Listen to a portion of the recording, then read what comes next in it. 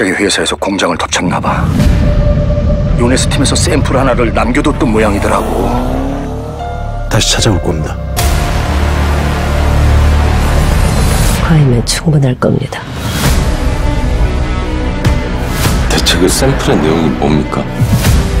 일명 폭군 프로그램이라는 초인 유전자 약물.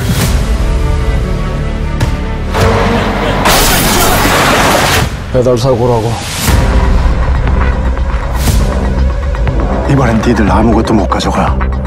복권은 우리 거야. 잊어. 저는 말이에요.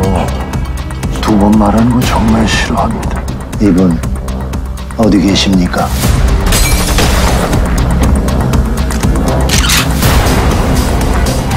싹 다 주인 가져갈까? 한국 실력으로는 감당 못해 이거.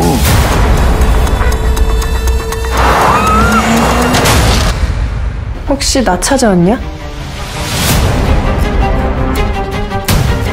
프로그램을 종이하실 생각이에요? 무슨 일이 있어도 포기 못합니다, 저. Where the f is the tyrant? 어쩌자고 감당도 못할 이런 바이러스까지 만드셨어.